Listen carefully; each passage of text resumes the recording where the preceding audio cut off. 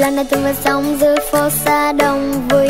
Tiếng xe che, tiếng nói lâu nay tôi vẫn sống với laptop tv người đi qua nhau chẳng một câu. Hôm nay tôi muốn đến những góc phố xa xôi, những nơi chưa ai tới. Hôm nay tôi muốn đến những ngóc ngách thôn quê. Giờ đây tôi cần hai bạn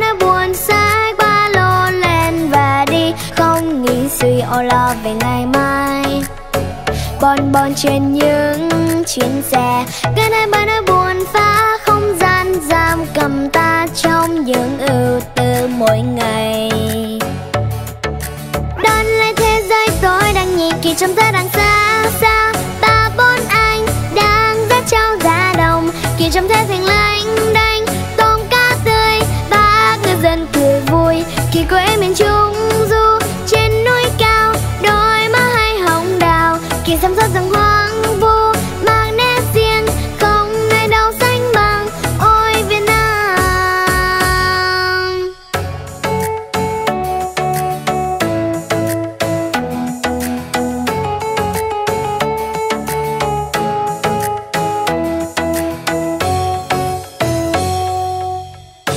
Hôm nay tôi mới biết đám cưới chôn thôn quê, Mừng nhau ba đêm vẫn chưa hết. Hôm nay tôi mới biết những vách núi treo leo Chờ khuya sắp tình lai lang. Hôm nay tôi mới biết lúa nếp gói cơm lam ngọt thơm hương Tây Bắc Hôm nay tôi mới biết mai ngói vách tranh xưa, Giờ đây tôi cứ thế vẫn nói buồn sách ba lô lên và đi, Không nghĩ suy áo lo về ngày mai. Bon bon trên những chuyến